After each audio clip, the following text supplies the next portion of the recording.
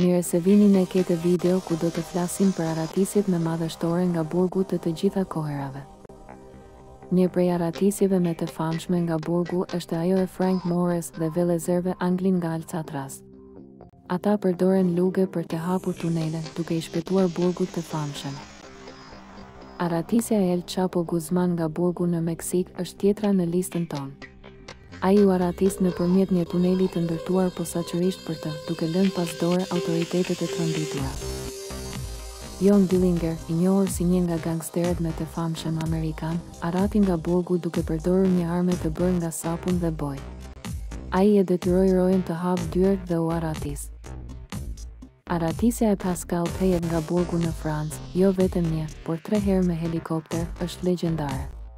Ai shfrytëzoi dobësitë e sistemit të sigurisë dhe u arratis me sukses. Ted Bundy, i njohur si një nga vrasësit më të famshëm në historinë e Amerikës, arrati dy herë nga burgu.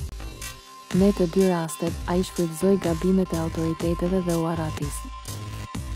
Arratisja e Alfie Hinds nga burgu në Britani të Madhe pasi kishte manipuluar sistemin e drejtësisë dhe kishte arritur të bënte tre arratisje të suksesshme, është tjetër rast interesant.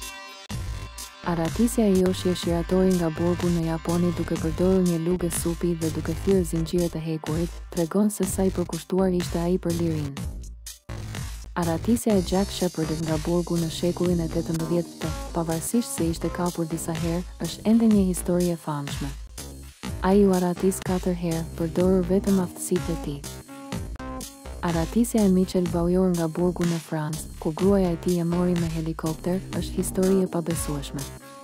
Ai kishte planifikuar arratisjen me detaje dhe përfundimisht arriti qëllimin. Arratisja e Choi Gap Bok nga burgu në Korenë e Jugut nëpërmjet një vrimë të vogël të ndërtuar me anë të meditimit dhe fleksibilitetit të tij, është histori e mahnitshme. Këto janë disa nga arratisjet më madhështore nga burgu në të gjitha kohët. Sidoqoftë, ne nuk e inkurajojmë arratisjen nga drejtësia, por theksojmë nevojën për reforma të vërteta të sistemit të burgjeve. Faleminderit për ndjekjen!